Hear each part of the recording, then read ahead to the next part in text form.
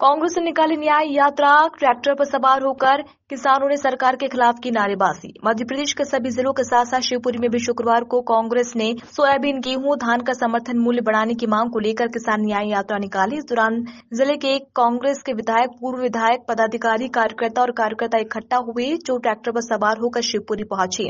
किसान न्याय यात्रा में जोरा विधायक पंकज उपाध्याय पोहरी विधायक कैलाश कुशवाहा और जिला अध्यक्ष विजय सिंह चौहान के संयुक्त नेतृत्व में निकाली गई यात्रा ने शिवपुरी नगर पालिका के पार्षद आदि सम्मिलित हुए। किसान न्याय यात्रा की शुरुआत पोहरी बाईपास चौराहे से हुई। पोहरी बाईपास चौराहे से प्रारंभ होकर राजेश्वरी रोड होते हुए गुरुद्वारा चौराहा माधव चौक चौराहा गांधी चौक कोर्ट रोड से होते हुए कलेक्टर पर पहुँचे जहाँ राज्यपाल और राष्ट्रपति के नाम ज्ञापन सौंपा गया। भाई आज जो ज्ञापन दिया है कांग्रेस पार्टी ने में किस मुद्दे को लेकर दिया है? आज हमारे नेता जीतू पटवारी जी ने हमें निर्देशित किया कि प्रत्येक ज़िले में जाकर किसान न्याय यात्रा के रूप में हमारे किसान भाइयों की आवाज़ को उठाना है। और जो लगातार मांग उठती रही है कि जिसमें सोयाबीन के भाव छः हज़ार रुपये कुंटल के मिले, धान के भाव इकतीस सौ मिले और गेहूँ के भाव सत्ताईस सौ मिले, उसके लिए लगातार जो बीजेपी झूठ बोल रही है, सदन के अंदर सदन के बाहर लगातार जो कृषि मंत्री बन गए केंद्र के, शिवराज सिंह चौहान वही झूठ बोल रहे हैं और हमारे मुख्यमंत्री वही झूठ बोल रहे हैं कि हम किसानों की आवाज़ सुनेंगे।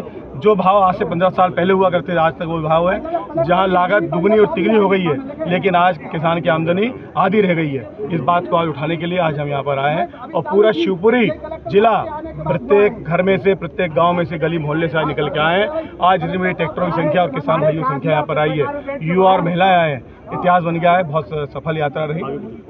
आप ये कह रहे हैं कि किसान परेशान है लॉ एंड ऑर्डर खराब है बेरोजगारी है लेकिन क्या कारण है कि जो बोर्ड में परिवर्तित नहीं होती? है अभी जो पिछला चुनाव आया उसमें कांग्रेस का जो परफॉर्मेंस है उस हिसाब से। परफॉर्मेंस कांग्रेस का निश्चित रूप से कुछ कुछ उन्नीस बीसा हुआ है और इसका हम समीक्षा भी कर रहे हैं। बिल्कुल निश्चित रूप से निश्चित रूप से। आपने देखा किस तरीके से जनता ने हमारी सरकार बनाई थी।